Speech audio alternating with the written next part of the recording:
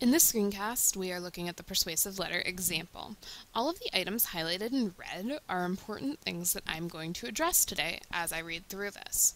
Dear Representative Dermody, so my first comment here is that you need to address your letter to your PA, House Representative, or your Senator. Your choice. You completed that during our 6.7 discussion board. My name is Katie Devlin, and I live in your district. I would like to tell you about an issue that I think needs to be addressed in our state. Currently in Pennsylvania, schools can only punish students for bullying that happens at school, happens at a school function, is done using school property, like a computer, or disrupts the school day. There should be a law that allows schools to punish students for cyberbullying which occurs outside of school because kids believe it is the easiest way to bully without punishment.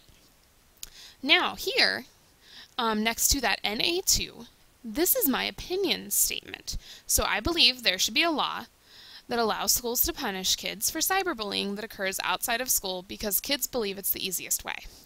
In my social studies class, we learned that many case, in many cases, bullying occurs, but it is difficult for schools to punish kids who bully online.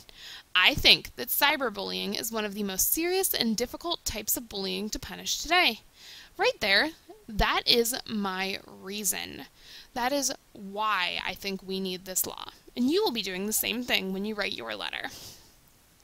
I saw on the website dosomething.org that 81% of teenagers think that it is easier to get away with cyberbullying than bullying in person. We learned in class about cases that involve students using their time after school to write not so nice things about staff and teachers at their school.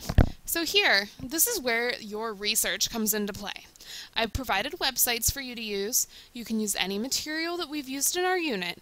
Show us some statistics. Show us some information. One case, Beidler versus North Thurston School District number 3. The student said some mean things about his assistant principal on a website he made. The school suspended the student and he was eventually sent to an alternative school.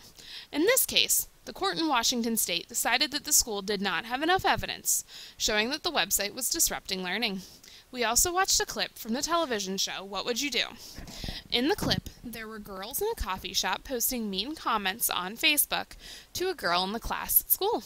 They said a lot of hurtful things, but if this happened in PA, the girls couldn't be punished for the hurtful things they said to this classmate because it didn't meet the criteria of our law. So this is my evidence. As you can see, I use things that we did in our lessons. So this is information that we already know. We're just writing it down and presenting it in a letter. Now, I know there are kids and adults out there saying that government or their school cannot take away the freedom of speech. This is my counter argument. In the case of Beidler versus North Thurston School District number 3, the student in this case stated that his suspension and placement at the alternative school was unconstitutional under the First Amendment and he won. There have been other cases where students have used the First Amendment to defend their rights to express themselves freely using the Internet. I believe that to protect myself and other students in Pennsylvania against cyberbullying, lawmakers in PA should make a law that allows schools to punish students for cyberbullying, regardless if it takes place on school property or with school property. I read in the state cyberbullying laws report published in December 2013. This is another outside source, so more stats, more things to make my argument be great that the state of Arkansas has such a hard time has such a law and cyberbullying there is punishable by law. Kids who are bullied need help. They need protection and adults have the power to help. Can you help kids in PA and propose a law that punishes cyberbullying? So this last sentence here is my call to action. It's asking Representative Dermody to help us out and pass this law. And then you sign it with your name, 7th grade student, PA Distance Learning Charter.